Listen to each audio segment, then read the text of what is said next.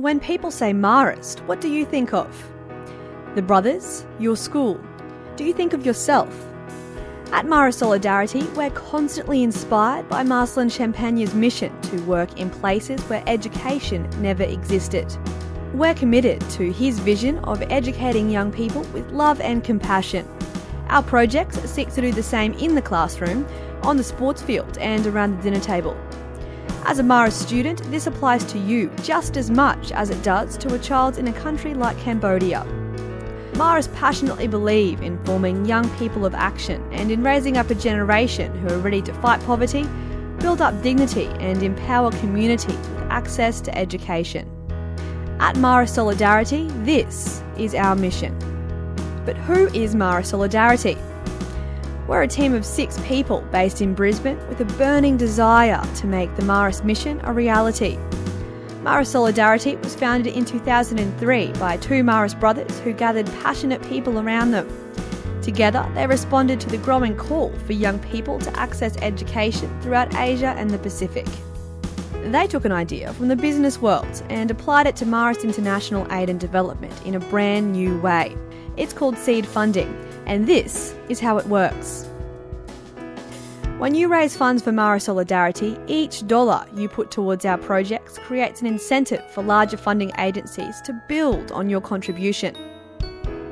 No pressure, but it all starts with you. In June last year, a new chapter was written in the Solomon Islands.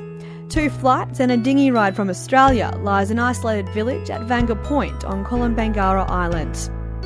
Until June last year, primary schooling there finished at grade 5. For grades 6, 7, and 8, children as young as 10 travelled open oceans or across crocodile infested rivers to get to a school 10 kilometres away. Compelled by a vision for safe access to education, the community approached Marist Solidarity with a proposal to expand the primary school.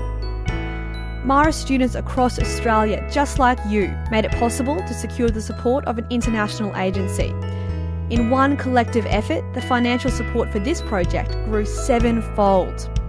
What resulted was the construction of new classrooms. The children at Vanga Point can now go to school without leaving their families behind.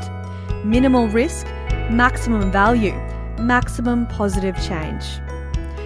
Marist Solidarity works with hundreds of communities and has many successful stories to tell.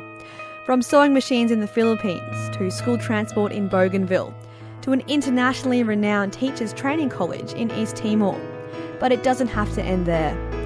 Supporting education means far more than just the four walls of a classroom. It involves the whole person and is based on relationships. As Maris, you are a family to people in over 100 projects across Asia and the Pacific Islands, each waiting for your support this year.